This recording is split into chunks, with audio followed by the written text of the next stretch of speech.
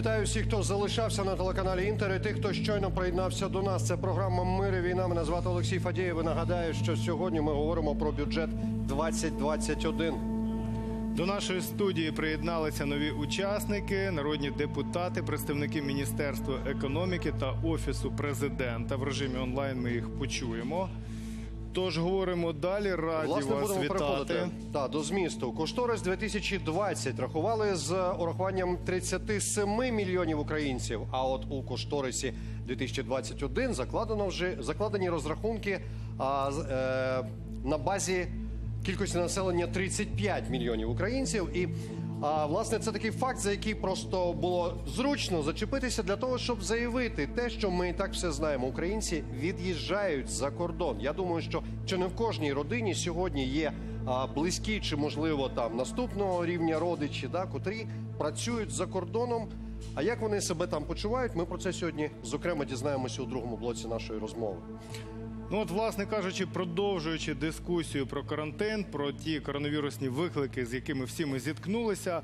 Давайте зараз перейдемо до ще одного віртуального, але реального гостя в цій студії. Це Олександр, який зараз мешкає в Бельгії. У 2015 році Олександр, як біженець, покинув Україну, займався в Україні бізнесом і вже займається підприємницькою діяльністю у Бельгії. Отже, Олександре, от займатися бізнесом в Україні і в Бельгії. е, яка різниця? Добрый вечер. Ну, в Бельгии как бы все намного легче. Вот э, как сейчас, как началась как, как корона, э, то есть мы даже не почувствовали ну, каких-то проблем, потому что нам сразу начали ну, выплачивать помощь.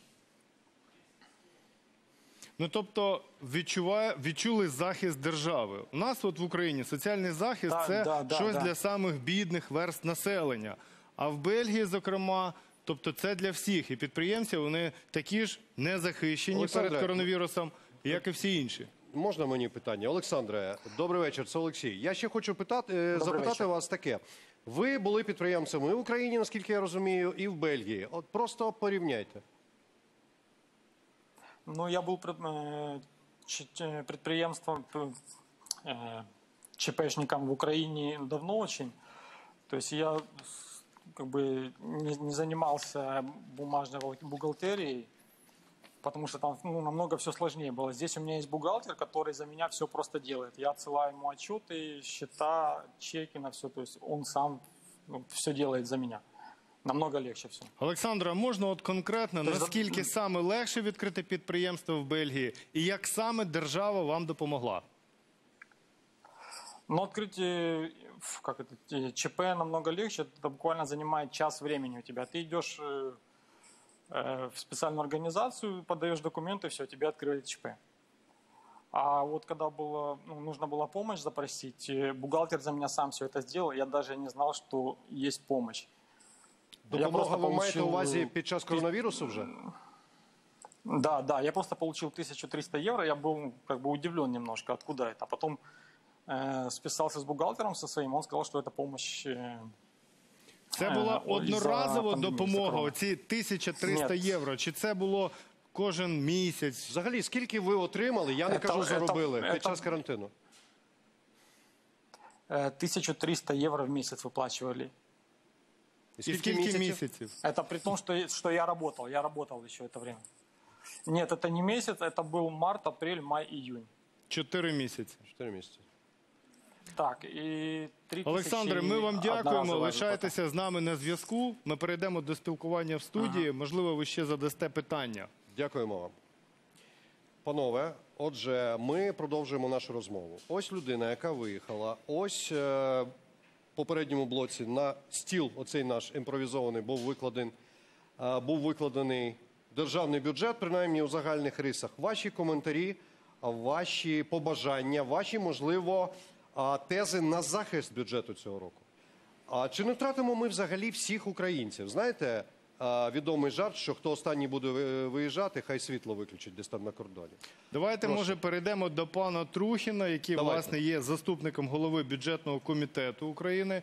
І до речі, пане Пане Олександр, Олександре, ви перший. тут вас побачили ваші виборці з Марганця. Мені прийшло повідомлення, вас чекають. Кажуть, що вже десь рік вас там не бачили. в Это Марганці. есть, это есть неправда. В Марганце Я вам можу бываю- показати В Марганце повідомлення. бываю регулярно. Есть у меня приемная, есть отчет о моих посещениях Марганца, поэтому и- является эта информация явно неправдивой. Это первое. А если мы будем говорить не о избирателях, избирательном процессе, в который мы сейчас вошли, и чересчур много политики в обсуждении бюджета и тех вопросов, которые у нас на повестке дня, я могу сказать по а, телезрителю, который подключился. Во-первых, мы вместе с моими коллегами, я считаю, тут не должно быть политики, проголосовали Ну так тут і не поддержку, було по- жодної поддержку, поддержку політики. бизнеса. Зараз з вами поддержку говорив бизнеса. И підприємець, голосовали в яка том тут числе політика? голосовали в том числе мои коллеги, которые скептически отнеслись к проекту бюджета. А, Во-первых, это всего лишь проект бюджета, и мы вместе с моими коллегами будем над ним работать. Безумовно, ми про це А, поэтому мы дали возможность, как парламент, и я считаю это очень важно, и парламент всегда на стабильности, в том числе и экономики страны стоит, мы дали следующие инструменты. Во-первых, мы остановили период а, налоговых проверок, то, о чем говорил а, телезритель. Во-вторых, мы дали определенные налоговые льготы и послабления. А, Володя, как мой коллега знает, мы за это голосовали в бюджетном комитете, для ЧПшников, а, как сказал упрощенный Александр. Да? А, Мы также дали возможность инструмент доступные кредиты 579. А, Сразу эта программа не приняла масштабы по всей стране очень активные, но на сегодняшний день уже десятки тысяч людей ей воспользовались, и есть возможность взять дешевые кредиты, такие как в Бельгии, под 5, 7 и 9 процентов. Мы вместе с парламентариями, с моими коллегами, вне зависимости от политики, смогли запустить механизм портфельных гарантий. Что это означает? Что бизнес, обычный бизнес, да, мелкий, средний, не крупный ни в коем случае, который остался без оборотных средств, либо испытывает недостаток средств после коронавируса, или сейчас еще, потому что мы не вышли с вами из коронавируса, вы видите, что заболеваемость растет, и не Мы только в Украине, а во всем мире. И а, ВОЗ свидетель э, говорит о том, что возможно и вторая волна пандемии, если захотите, об этом с вами поговорим. Так вот, мы с коллегами проголосовали такой механизм, и теперь обычный предприниматель, не имея залогового имущества, ну, пришел бы он в банк, банк ему говорит, ну, вы понимаете, у вас нет кредитной истории, у вас нет имущества, под которое дать вам кредит, мы не могли бы вам помочь, да? Да, есть доступная программа 579, но нету денег именно для вас. Так вот, Теперь человек, придя за 100 гривнами, может иметь обеспечение только 20 гривен. 80 гривен за него будет гарантировать из каждых 100 гривен государство. Поэтому человек сможет получить доступ к ресурсам, во-вторых, к дешевым ресурсам и вовремя. Сегодня очень системные механизмы запущены на рынке, в том числе финансовом. А если мы с вами будем говорить про бюджет, Давайте А, будемо Чекайте, говорити. У пан нас ще Тарас цілий також блок. хоче додати щось, я сподіваюся, так? Е, Ви знаєте, вже півроку триває криза. Якраз е, в середині березня почалися карантини, і е, вже у нас е, під кінець За вересня. деякими даними в Рівно Україні вона півроку. триває Так 30 ось, років. Це вся допомога. Якщо подивитися, наприклад, е, так, е, хочу зауважити, за цей час уряд заборонив бізнесу працювати. Великій частині бізнесу просто не дозволив працювати. Закрилися ресторани, закрилися магазинчики, частину е, просто скоротилися. А тепер з іншого боку, якщо ти забороняєш працювати, ти повинен дати е, іншу сторону балансу, допомогти е, цьому бізнесу. Яка допомога? Ну не, не перевіряє Ну, ми почули, що Ну, допомоги не було. Ось. Відсутність щодо кредитів, перевірки кредити це не це допомога. смішно. Це смішно. Знаєте, на всю країну нових кредитів видано близько 1 мільярда гривень за ці півроку. 6 мільярдів це рефінансування старих кредитів. 1 мільярд це приблизно 0,1%, тисячна частина тих кредитів, які є сьогодні. Зрозуміло, до нас видали. приєдналася Тетяна ну, Острікова, економічний експерт. Будь ласка. Знаєте, в чому основна різниця ведення бізнесу в Бельгії і в Україні? Тому що в Україні підприємці знають, що під ялинку їм завжди підкинуть податковий сюрприз і збільшення податкового навантаження. Так трапилося і в цьому році, адже окрім бюджету на цей стіл потрібно ще викласти зміни в податковий кодекс, який уряд подав вкупі з бюджетом. Якщо подивитися на ці зміни, то Можна перевірки якось просто і зрозуміло, Дуже які просто. там будуть зміни. Перевірки відновлюються, а податки зростають, індексуються. І акцизний податок це те, що всі ми платимо, коли купуємо алкоголь, тютюн, е, бензини. Це все зростає. Зростає екологічний податок. е, Більше ніж на 11%. Через мінімальну заробітну плату зростає єдиний податок для ФОПів, зростає єдиний соціальний внесок, зростає податок з наших з вами доходів. Тобто нам з вами все одно е, чи виросте ставка, але врешті-решт ми з вами в наступному році заплатимо більше. І давайте говорити Добре, чесно. ну от скажіть, будь ласка, ви як економічний стабільно. експерт. От чи призведе це до тенізації економіки? От такий як Олександр, якого ми бачили, чи почне він платити зарплату в конвертах? Чи це вірогідно? Більшість експертів прогнозують, що е, підняття заробітної плати до 6,5 тисяч гривень, як передбачено з 1 липня, може призвести до того, що людей будуть оформлювати на півставки або взагалі а, А в працевлаштовувати реальності працювати вони будуть повний день. Безумовно. Так Так можливо, Олександр, це призведе навпаки до зниження надходжень в бюджет. Давайте мы с вами определимся. А, Я поддерживаю ваши тезисы о том, что вы сказали, нас стало меньше. Мы, как команда, и парламент, и президент, и правительство, в первую очередь хотим, чтобы каждый украинец хотел находиться здесь, в Украине. Реформы стоят денег.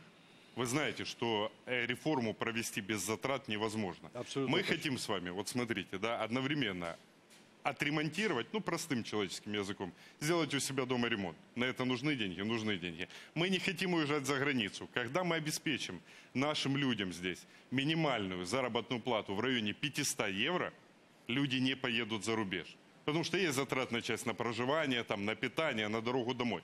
Поэтому такую заработную плату, смотрите, давайте будем говорить честно, за один год мы не выполним. Но если мы не начнем этот путь и не будем называть вещи своими именами, и не будем поднимать минималку, и, соответственно, не будем поднимать всю тарифную сетку, здесь, в Украине, никогда Я вас не разумею. будет той Чогось заработной потрібно платы, почати, ви из-за хочете которой сказати. наши люди уезжают за границу. Абсолютно. Поэтому а, говорил э, первый был гость у вас в студии о том, что он, будучи э, частным предпринимателем, теперь боится, что он получит такую нагрузку на себя и не сможет платить заработную плату, потому что он будет платить налоги. Во-первых, налоги со своей заработной платы платят люди, но люди и начнут зарабатывать больше. А во-вторых, все частные предприниматели или мелкий и средний бизнес работают на внутриукраинском рынке.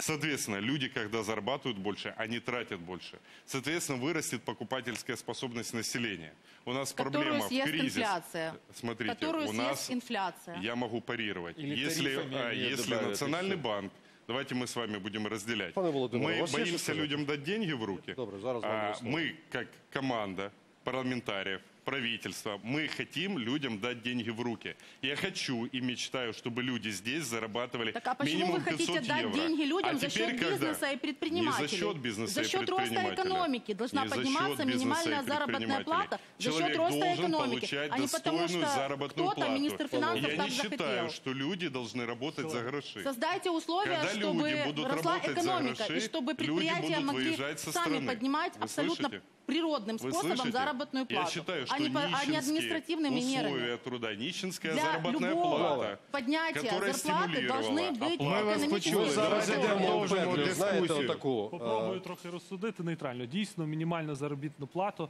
потрібно піднімати. Я з цим згідний.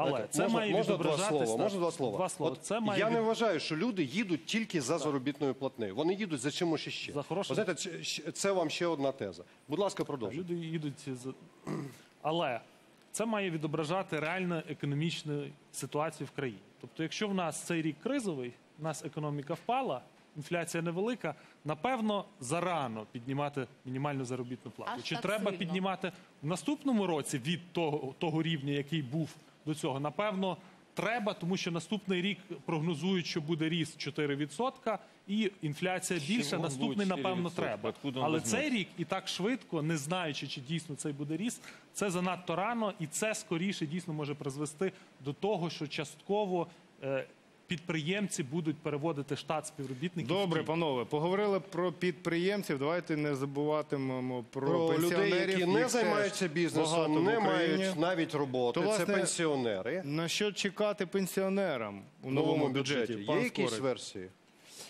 Пане Микола. Э, Ну, мое мнение, что э, в отношении пенсионеров и там ситуация с э, прожиточным минимумом, она абсолютно не, э, то есть реальный прожиточный минимум и прожиточный минимум, который закладывается э, в бюджет, они там э, разница практически в половину.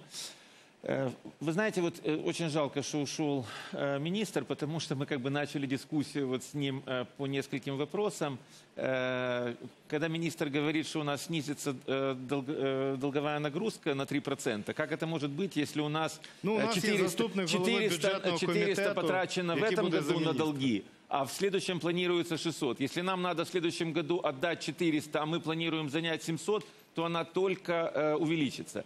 Э, я считаю, что, э, опять же, ситуация с заработной платой – это, опять же, такой очень важный тест для власти, для правительства, потому что подход к заработной плате абсолютно, ну, вот я согласен с Татьяной, заработная плата должна расти на основе роста экономики. Вы не закладываете абсолютно никакие факторы э, роста экономики, абсолютно нет А що таке от стимулирования фактори ключевых росту економіки? Що Е, треба закладати? нет, э, должна быть, под- э, должна быть поддержка ключевых отраслей, бюджетообразующих отраслей.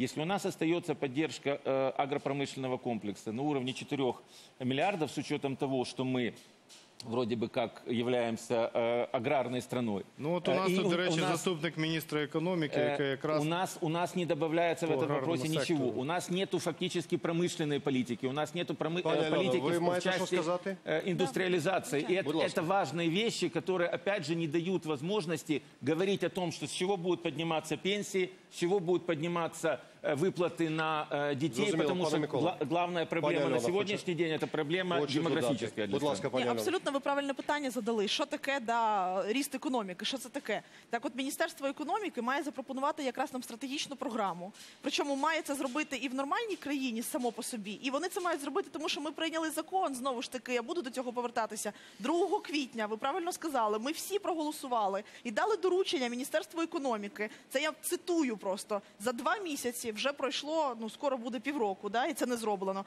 А ми дали доручення за два місяці з квітня повністю напрацювати, які галузі нашої економіки, особливо в час коронакризи, дають найбільший ефект створення робочих місць, імпортозаміщення, коли українці будуть купляти українське виробництво товарів, а не іноземні, які до нас весь час заходять, які дають найбільший мультиплікаційний ефект. Ви думаєте, Міністерство економіки дало нам такий перелік? Ні. А друге, що Міністерство економіки мало зробити, і та- так само не зробило, воно мало дати в бюджет ті речі, які нам дадуть швидко можливість зростати економічно. Це може бути там великі інфраструктурні проекти, але дуже тоді конкретні. Це може бути, наприклад, проект локалізації виробництва або знову ж таки індустріальних парків. Але Міністерство економіки цього не робить. Давайте І дамо слово якраз Тарасу немає. Висоцькому, який як заступник міністра економіки є куратором АПК. Ви скільки вже на своїй посаді, пане Тарасе?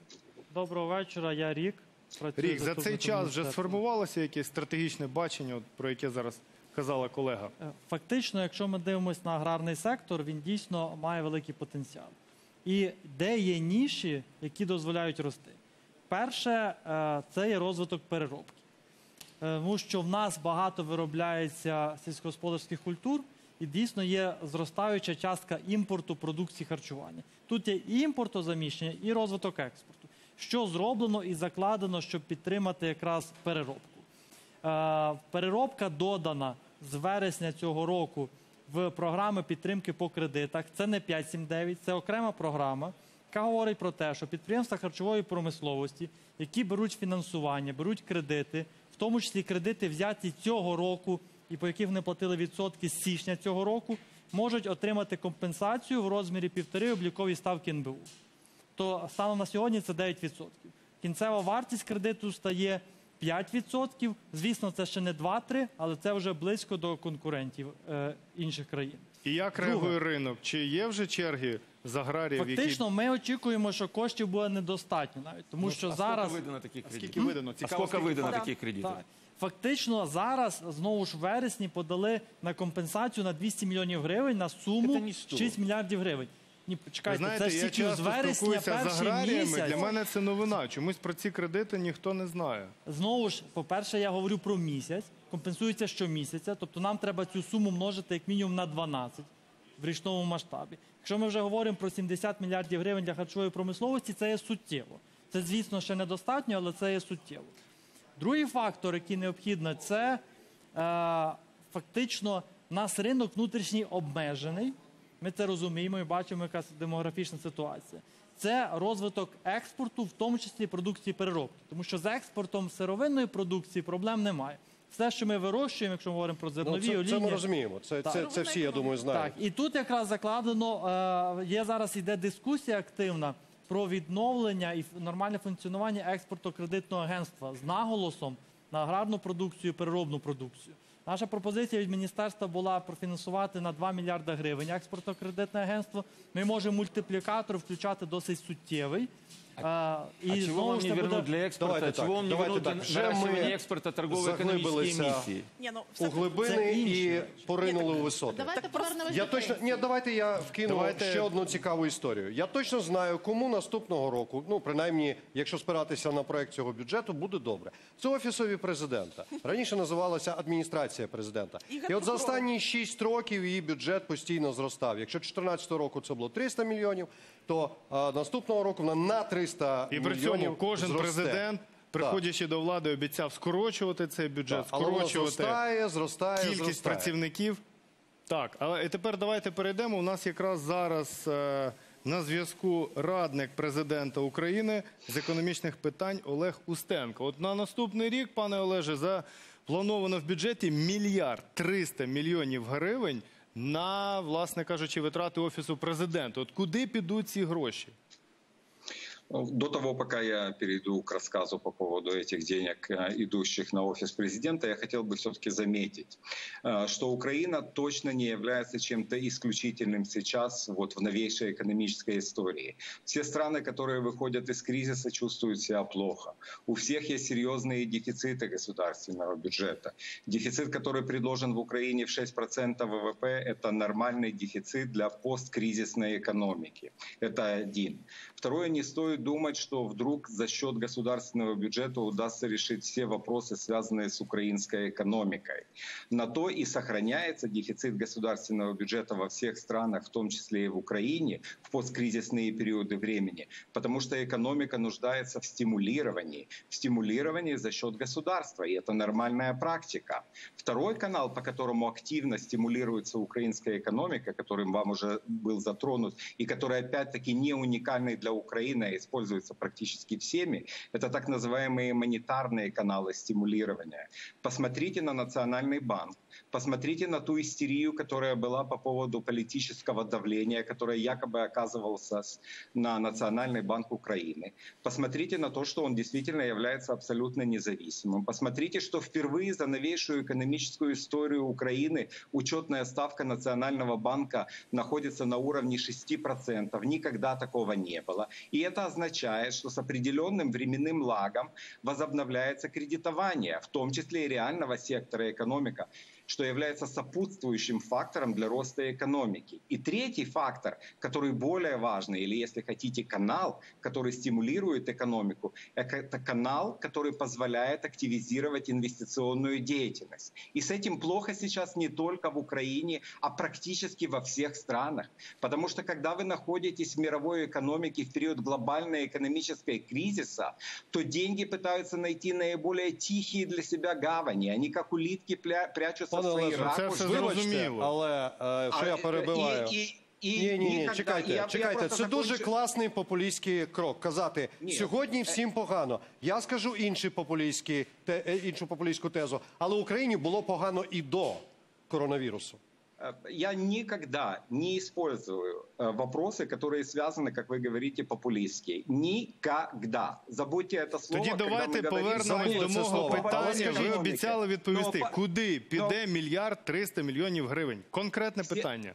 Все разговоры, которые касаются, все, абсолютно все разговоры, которые касаются того, давайте добавим здесь и добавим там, если вы не обеспечиваете в бедной стране рост на уровне 5%, остаются ничем иным, как просто политическими разговорами, которые, как правило, активно используются на пиках политических циклов, и Украина не является исключением. А что касается этих дополнительных денег, а, которые выделены Министерством финансов Украины на офис президента, то это точно не инициатива, которая бы исходила либо от главы офиса президента, либо президента Слухайте, страны. тобто міністерство, Это це що? первое. А він Це сказав, ні, міністерство мені не саме, надо. само Ми це тобі дамо. вигадало. А мені Ну, не а як надо. таке Бюджетний може запит бути? формує сам офіс Секунду, президента. секунду. Кожна секунду, установа секунду, формує свій секунду. бюджетний запит Дякую. абсолютно чітко. Зараз було Секунду. зазначено. Що Чи як? Чи це касається- міністерство вирішило так трошки вислужитися? Це А не от може давайте бути. Це не офісу може. Е, да- давай запропонуємо дамо Жанові більше Олегу. грошей. Чи як? Я- я- я- давайте я отвечу. Э, Вопрос совершенно, э, ответ, вернее, совершенно банален. Это была инициатива самого Министерства финансов. Но на чем базировалась инициатива Министерства финансов? Не надо-. Это для роста экономики. Это неправда. Нет, Это- нет. Вы, если э, это базировалась скандал. инициатива Министерства финансов на том, что если вы посмотрите заработные платы, которые есть в офисе президента, я не оправдываю, я просто рассказываю экономическую логику, по которой они шли. Если вы посмотрите, есть такое понятие в экономике, оно называется opportunity cost. Сколько ты можешь заработать здесь, в другом секторе, находясь в той же, например, стране или переехав из этой страны. Но если вы посмотрите заработную плату аналогичного специалиста, А работающего в cost не Верховной применяется к Раде, врачам Мне и к педагогам? мне Это неправда. вы я вам это дальше говорите. объясню, если вы хотите слушать, а не перебивать меня, потому что мне сложно с вами говорить, потому Просто что я говорю вы не через... объясняете, Чекайте, чекайте, а, я- извините, манипулируете. договорить. Я не манипулирую, манипулируете вы, а я этого не делаю. Когда я говорю, простите, когда я говорю по поводу заработных плат, я имею в виду, что средняя заработная плата у одного и того же специалиста, работающего в Верховной Раде, в секретариате Кабинета министров или в, офисе президента, она разная. И самая низкая в офисе президента. Следующая затрата, которая была заложена, это на ремонт борта номер один. Но, насколько я понимаю, эти затраты, которые были заложены в государственный бюджет, опять-таки не по инициативе офиса президента, не просто будут урезаны, а скорее всего их дополнительных затрат не будет. Я снял достаточно этот ваш вопрос. Ми принаймні Останньою почули, що тезою окрім можливо. заробітних плат там ще за- заплановано ремонтувати літак. Дякую, пане Олеже. Ви не зникайте зі зв'язку, будь ласка, тому що можливо тут вас і підтримати хочуть, я бачу, і заперечити вам теж хочуть. Так, що спочатку? У вас ще є що додати? А, Ні. Я Прошу, хотів пане би, Олександре. Ну е, може пізніше. Так. да, я- Значит, во-первых, я Александр. хотел бы объяснить. А, Общее а, увеличение а, относительно Офиса президента 2021 год к 2020 запланированный 356 миллионов. Во-первых, это увеличение, дельта, о которой мы говорим. Во-вторых, Офис президента, в том числе, как и другие статьи содержания Офиса президента, относятся к аппарату государственного управления делами президента. Так вот, я вам хочу сделать такой коротенький доклад. Если вы возьмете затратную часть, а она отображается в приложении номер 3 к государственному бюджету, то по отношению к 2020 году, в 2021 появились такие статьи, как реконструкция, допустим, мистецького арсеналу, надбання українського народу і культурне, і спадщина, і в занедбаному стані її тримати не можна. Ці да? гроші теж И Чекайте, эти а деньги, крім вот мистецького смотрите, арсеналу, смотрите, більше надбань смотрите, немає? Тільки смотрите, мистецький смотрите. арсенал у Эти центрі деньги Києва. заложены. Это деньги, которые президент тратит не на себя, Конечно. не на свою охрану, Звісно. не на свои Але це в передвижения. бюджеті А Офісу історичний президента. музей, Это, это наприклад, тоже десятина сюда церква. А, Я извиняюсь. Дайте я продолжу Чому саме дальше. мистецький арсенал? Есть, а, объясню, потому что есть определенные объекты, которые относятся Зрозуміло, вони к на ведению, балансі к ведению, э, на управління балансе. справ Есть президента. определенные Окей. З цим национальные- зрозуміло. Давайте Можно рухатись я далі. договорю, коллеги? Зрозуміло, що Коллеги, є Так, будь ласка, не будь тільки есть зарплатний национа- фонд. Есть национальные ландшафтные парки, которые тоже относятся. Вопрос в чем? Вопрос в чем? Не содержать и не смотреть за этим имуществом – это неправильно. Правильно ли, может быть, реализовать это имущество, либо передать на более профильного главного распорядителя? Это другой вопрос, в том числе, я думаю, который могут обсуждать в офисе. Уверен и готов подписаться под словами а, коллеги по эфиру, что офис президента не подавал такой запрос. Объясню, объясню, почему такая позиция. Потому что, допустим, и РНБО, которое должно было бы подать в срок да, свои бюджетные запыты, в том числе и текстовым статьям, зауваження, не подала в срок. Поэтому не все порушення- главные це порушення распорядители, не дисципліни все главные якоїсь э, фінансової. Чого- распорядители, чому не к сожалению, подало? Так как это Ну, может подали в быть? срок. Треба було Що значить не подати. подали? Ну, Як це не подали? Ну не подала. Ну Колеги, отак. я хочу Жаль, нас що всіх вже привітати. міністр По-перше, Зеленський завдяки сказав об этом. суспільному тиску. Ми тільки що почули обіцянку ці невиправдано роздуті видатки зняти. А по-друге, я би хотіла панові Устенко порадити перед тим, як застосовувати такі е, методології, порівнювати зарплати, наприклад, там е, скільки коштує ринковий фахівець і скільки коштує такий же фахівець в офісі президента. Застосуйте аналогічні методики до е, того, як живуть пенсіонери, наприклад, в сусідніх країнах і в Україні. Я пам'ятаю, перед виборами пан президент обіцяв, що в нас будуть європейські пенсії. А вчора він уже говорить Давайте говорить, що послухаємо давайте зачекаємо. Вони колись будуть європейськими, але не, не зовсім зразу. Так, Якщо ми дякую. дивимося в бюджет, Пане то Олеже. Власне, Э, я, пенсія пред- я предлагаю просто, дуже-дуже я мало. предлагаю не манипулировать все-таки данными, а находиться в обычной экономической логике. И то, что я предлагаю вам экономической логики, я вам называю так, э, так называемые альтернативные затраты. Я не говорю плохо или хорошо, это принятая экономическая логика. Называется opportunity cost. И если вы возьмете самый простейший учебник, вы сможете прочитать более глобально об этой теории. Но я не могу не согласиться с вами о том, что вы совершенно правильно говорите по поводу пенсионеров. И пенсионеры в этой стране, равно как и многие другие категории населения, живут ненормально, живут в абсолютной бедности. И это проблема, которая накапливалась в Украине не в 2019 году и даже не в последние два или три или четыре года, а это проблема, которая накапливалась в стране на протяжении начала ее независимости. В противном случае мы бы с вами не имели ситуацию, в которой находимся сейчас, когда наш ВВП мог бы находиться сейчас на уровне порядка 400 миллиардов долларов, а не 150 миллиардов Пане Олеже, ми долларов. вас почули. У нас лишається ще історія 10 хвилин до перерви. сослагательне наклонення. І я пропоную перейти би до бути. ще одного блоку, І до одної який категорії. також Я думаю, хвилює що- багатьох наших Так. глядачів. Це силовий блок. Абсолютно. Бюджет на наступний рік сміливо можна назвати бюджетом силовиків. От буквально кілька цифр: 100 мільярдів гривень на МВС. Майже на чверть збільшується фінансування СБУ. Майже удвічі збільшили бюджет Державного бюро розслідувань. Збільшено бюджет прокуратури. А от Міноборони, як ми вже говорили, отримує на 100 мільйонів гривень менше. Так, це не суттєво, 123. якщо взяти 123 мільйони гривень, тим не менше. От дійсно, ну ми вже чули, що так, там закони якісь нові прийняли, і от ну не можна нічого зробити, окрім як не профінансувати силовиків. Тим не менше, от про що це говорить? Олексій, Знаєш, у у тебе мене, є у- якісь у думки? мене була одна єдина версія. Вона, звісно, абсолютно дика, але а, перше, що подумалося, що влада боїться власний нарід, чи що, що вона Ну, тобто посилює, та, посилює силовий блок. охорону, оборону всередині країни. Не від Я розумію, що зовнішнього нам ворогу, потрібно а від боротися з внутрішнього, корупцією і чи так що? далі. Ну, можливо, так. Зараз запитаємо. Наших хоче гостей. прокоментувати? Тарасе, ви перші підняли, Е, пане Микола. Давайте я почну з хорошого, тому що у нас Давайте. стільки критики. Наступного року в бюджеті виділяється 1 мільярд гривень на новий орган бюро економічної безпеки. Про цей орган поки що мало говорять, але наступного року це буде рік цього органу. Це орган, який буде виключно єдиний орган, який буде займатися е, злочинами в економіці і з фінансами, бюджет і так Тобто. СБУ не буде цим Не буде займатися? займатися СБУ, не буде займатися МВС, не буде займатися ДБР, буде займатися виключно цікаво. бюро економічної безпеки. Але поки що цього закону немає. Е, Добре, що передбачені кошти, значить, сподіваємося, що є. Але тут запитання, і дивне запитання. А чому при тому, що з СБУ, МВС і ДБР забирають економічні злочини, для чого їм так сильно ще збільшують видатки? Я цього не можу зрозуміти.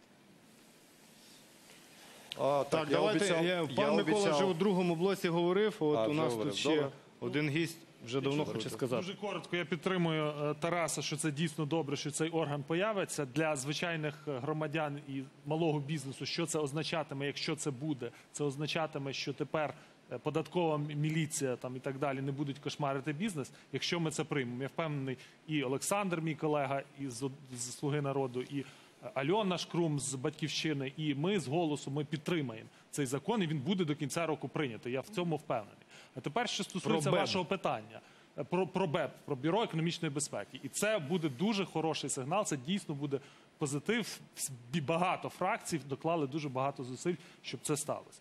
Тепер, е, тепер щодо ем, е, фінансування силовиків, я тут хочу звернути на одну цікаву річ увагу: як має рухатись фінансування силовиків? Фінансування армії, напевно, має зростати. Фінансування поліції має падати не тому, що ми не хочемо їх фінансувати, а тому, що поліція має так працювати, щоб рівень злочинності падав, відповідно, і фінансування має падати.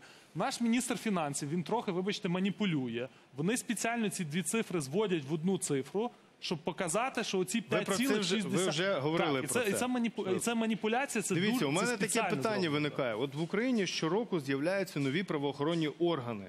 Тобто, якщо з'являються нові органи, от пані Шкрум, з'являються нові органи, то старі десь якісь функції втрачають. Так? Тобто можна десь їм скоротити бюджет. Ну, з'явилися ж у нас нові, не так. перерозподілити. А у нас чим більше органів, тим більше витрат на ці органи. СБУ плюс Ви 23%. абсолютно- Ви абсолютно праві. Я от згадую минулий рік, коли у нас був обов'язок скоротити кількість державних службовців. Да? І так скорочували кількість державних службовців, скоротити обіцяли на 5%, що збільшили на 1%, тому що створили стільки нових органів, що збільшили кількість на 1%. Тому, на жаль, в нашій країні якраз оця логічна система не працює. Але я мушу ще додати одну штуку, дуже таку е, неприємну. Да? От пан Устенко сказав, що середня заробітна плата в офісі президента нижча, ніж середня заробітна плата десь в інших державних Верховній структурах. Раді. Та я, Верховній я скажу просто ну відкрию велику таємницю, і там і там працюють державні службовці, і там і там працюють однакові фактично фахівці, да і в міністерствах, і в районних державних адміністраціях, і вони по сітці отримують однакову заробітну плату на одному рівні. Тому я зроблю запит і спробую дізнатися, але як на мене, це така дуже е, неприємна маніпуляція. Це означає, що офіс президента або не доплачує своїм людям, або не цінує своїх слово. людей. Дякую. Я хочу сказать один очень простой тезис, я думаю, мы закончим этот разговор. Дальше Простий просто і будет... короткий тез. Да, дальше просто буду говорить не о чем. Перед тем, как создать что-то новое, людей со старых органов нужно уволить. Так вот, при увольнении люди получают, ребят, компенсацию. На компенсацию при увольнении всех этих служащих со старых органов, может быть, их возьмут в БФР, а может быть, не возьмут. А может быть, придут новые люди, другие, более качественные. Нужно в районе 14 миллиардов гривен. Так вот, то, о чем мы с вами говорили, реформы требуют затрат. Эти затраты заложены сегодня в бюджет. Поэтому, если мы хотим новый орган, который будет обходиться дешевле, будет работать качественнее, бизнес, я поддерживаю всех своих коллег с разных партий и фракций, не будет испытывать такого давления один раз, на это надо потратиться. Мы не можем выкинуть людей Ми на зрозуміли. улицы, Слухайте, которые у нас людям дуже виводять часто компенсацію правоохоронці органів. просто У них переходять такі з ж одного діти. органу в Вже інший. не існує три роки податкової міліції, а на Люди неї виділяють і официально виділяють і виділяють оформлены кошти. у людей, дети, А чому їх не семьи. звільнять? Чому їх у не людей звільнять, якщо немає жизнь, такого и органу? Они получают Діти, зарплаты. сім'ї, в Люди українців в официально усіх є. находятся на работе. При увольнении любого человека Абсолютно, ми всі це обязан знаємо. получить Ми точно знаємо, на що ми маємо право. Дивіться, і взагалі Україна е, цього року платитиме цього і наступного платитиме досить багато. Я би хотів торкнутися такої важливої теми, як борги, зовнішній борг України. У бюджеті на наступному проєкті бюдже- е, бюджету, перепрошую, закладено, наскільки я пам'ятаю, 270 мільярдів доларів е, гривень, вибачте, виплати. Це загальний це Загальний, дефіцит, загальний. Дефіцит, дефіцит загальний, не тільки зовнішній. Дефіцит загальний. Добре. А, дивіться, я би хотів пана Устенка запитати, пане, пане Олеже, ви на зв'язку з нами, так? Да. Ще раз. Дякую, що залишилися. А, що у нас зараз у стосунках з МВФ? Нам покривати треба дірку в бюджеті? І я так розумію, що МВФ це головний, е, головна заплатка для нашої дірки. Вибачайте за такі фрази. А що в нас з МВФ у стосунках? Місія Ну, в реальності- зараз стала на паузу, наскільки я розумію. На- Просто на всякий случай хотел бы заметить, что МВФ более чем важный кредитор для Украины, потому что Международный валютный фонд для Украины всегда был, э, если хотите, своеобразным флагом, который дает возможность выходить на внешние рынки заимствования капитала и одалживать там деньги дешевле. К примеру, последние недели или последние месяцы пребывания прежней администрации в офисе на Банковой, Министерство финансов выходит на внешние рынки заимствования капитала и одалживало по 9,8% по так называемым европейским бандам Украины. Первое заимствование, которое было сделано уже при новой администрации, было по 4,75%, фактически в два раза дешевле. Поэтому Международный валютный фонд в принципе всегда важен. И всегда это вопрос в том числе и доверия. Поэтому, э, когда мы говорим о дефиците следующего года, то это дефицит в районе почти, действительно, почти 9 миллиардов долларов, или даже чуть выше, чем 9 миллиардов долларов. Это деньги, которые будут одалживать и на внешних, и на внутренних рынках, но, но не Международный валютный фонд является основным кредитором. Они важный кредитор, но точно не основной кредитор. Э, Заимствования будут проходить и внутри страны, и за пределами э, страны. Но поэтому, конечно, важным является то, в какой стадии и на каком этапе мы находимся сейчас в наших взаимоотношениях с Международным валютным Пане фондом. Олеже, ми вас Була почули. зміна. Давайте ще Пане Олеже, почуємо дякуємо вам. людей, які з нами на У нас зв'язку на зв'язку ще у є люди. віртуальному так, А, режимі. не лише ви. А, це не претензія. Я би хотів, ми би хотіли з Романом а, про, е, провести голосування, правильно? Власне, давайте питання поставимо так. От Давай. Про що ми вже сьогодні говорили? Період, в якому ми зараз всі разом перебуваємо. Це кінець епохи бідності чи її початок? От, будь ласка, хто як вважає? Вважаєте ви цей бюджет, проект бюджету на 2021 рік, проектом бюджету кінця епохи бідності? Так, це блакитний колір, колір надії. Якщо ви вважаєте, що це початок епохи бідності, піднесіть червоний а, прямокутник, це колір, самі знаєте чого, небезпеки і так далі. Якщо ви вважаєте, що бюджет 2021 це буде кінець епохи бідності, блакитний колір. Бачимо, що голоси розділилися. Іншими словами, вважаєте, що буде краще, і ми з того виліземо. Ну тут Блакитний ми бачимо колір. трошки палець замість Інакше кольору, червоний. але він Палець, досить пальць, два пальці вниз. Це, я так розумію, ви не вірите. Я правий? Ви вважаєте, що це початок епохи бідності? Звичайно, Так, це не репрезентативна вибірка, це не соціологія, але тим не менше це думка Ми бачимо, людей що голоси з усієї десь... країни. Як ти вважаєш, що трудно озирнути весь екран Будемо одразу? рахувати, тим більше на цей екран, мабуть, навіть виводяться не всі, хто нас зараз Я думаю, бачить. наші глядачі побачили екран і мали на е, нагоду самі підрахувати чи побачити, як розподіляються наші голоси. Ну а зараз, на жаль, потрібно йти на рекламу. Ми повернемося в студію за 12 хвилин. Залишайтеся на каналі, буде цікаво.